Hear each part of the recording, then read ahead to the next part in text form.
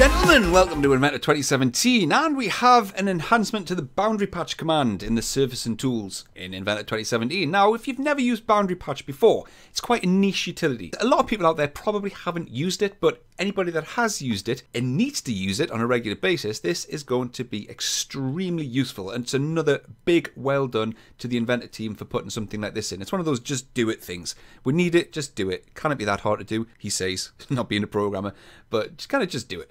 So the boundary patch command, the way it worked in the past is you would pick a closed loop edge like this and it will create a surface in between that closed loop. So it's going to fill your loop with a surface. You'd click, uh, you could click OK and you'll just get a flat surface or you could sort of weight it off with a tangent solution like that and then you're going to get a domed surface which you could then, if you want, thicken uh, by a set distance. This is a really small component, so the tolerances that we're working with here are tiny.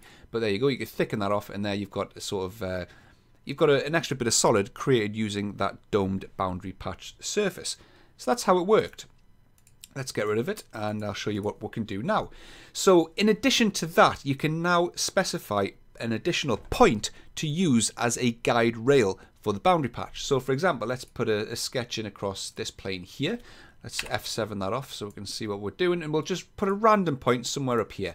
Now you can size that up, you can put dimensions on it to place it to to exactly where you want it to be. But in essence, now what we can do is we can do the same patch, but then you've got this ticky box here, well it's not ticky box, this arrow box here where you can specify that point as a guide rail, and you can see instead of it just being a perfect tangent dome, it's now going to loop and intersect the boundary patch through that point. And you can then change how it interacts with the point using the tangent condition and the weight, but you click OK and you've now got a, a different solution for the boundary patch using that guide rail.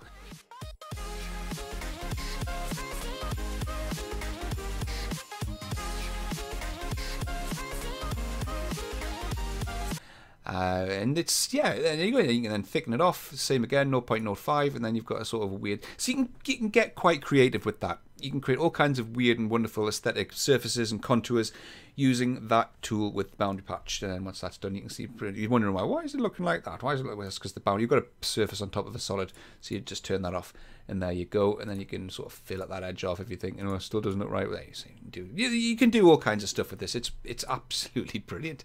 It's brilliant. It's stuff which has been needed in the product for a long time, and they're eventually getting around to doing it. So, round of applause for Autodesk again. well done, guys. This release is turning out to be a winner. A winner. Right, thanks very much. That's it for this one. If you liked it, like, subscribe, comment, all that sort of stuff, and I'll see you in the next video. Toodles.